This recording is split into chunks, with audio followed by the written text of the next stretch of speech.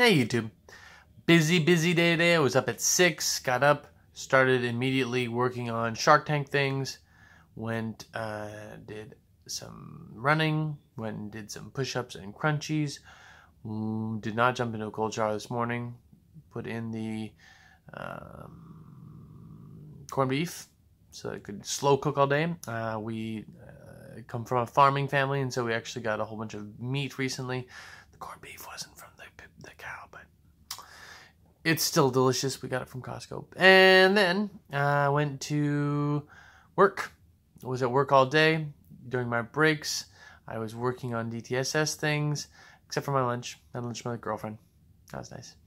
And then went uh, uh, talked to Brett twice tried to talk to him three times, didn't end up working like that, but that was fine.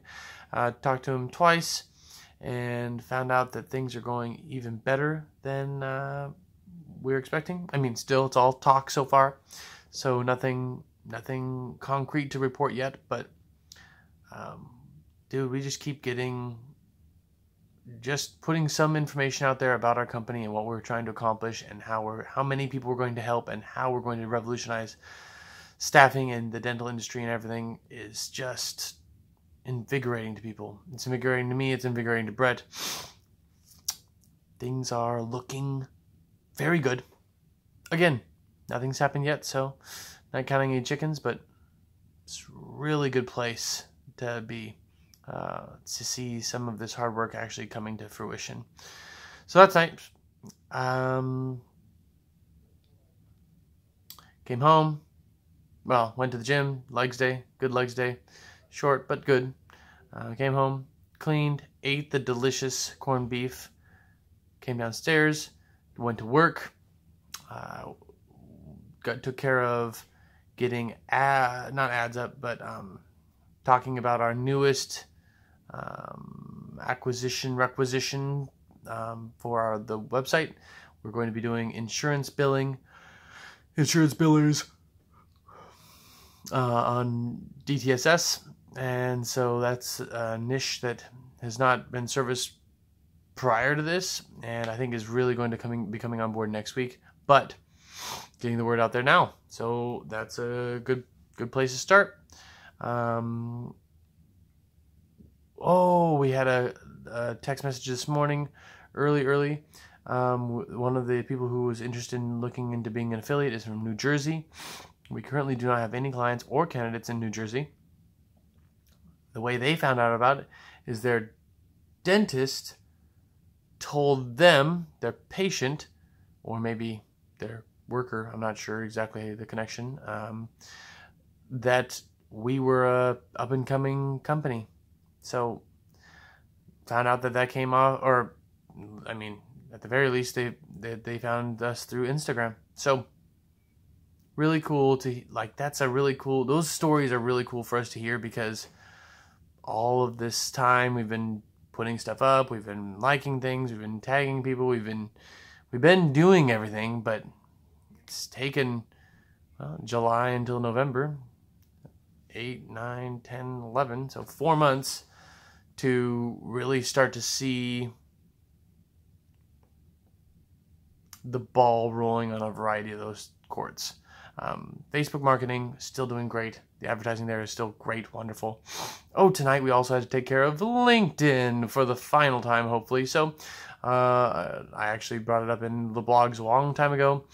Uh, we got to have a fifty dollar oh try out the advertising thing and um, for free, fifty dollars on us. So we did it, and I would have I would swear I put the parameters up so that it was just going to spend the $50 and be done, but apparently that didn't happen, and they have been charging us ever since then. When we started like October 10th or something, and it's on November 15th, and we had only a $27 spending max per day. Um, God, the results were awful. Um, however, I mean, don't get me wrong. According to their average, we were just a little bit below their average for their results, but out of $784 or something like that, we ended up getting 111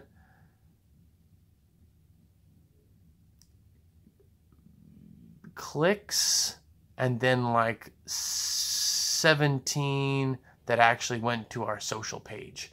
Something like that. It was just atrocious.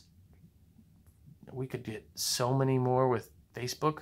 So, uh, that's like the fourth strike. You're out for Instagram. I have stopped everything. Um, it was also on a separate page. I don't know if I said that the first page, the, the when I went back and checked on everything, that page has been done for a long time now.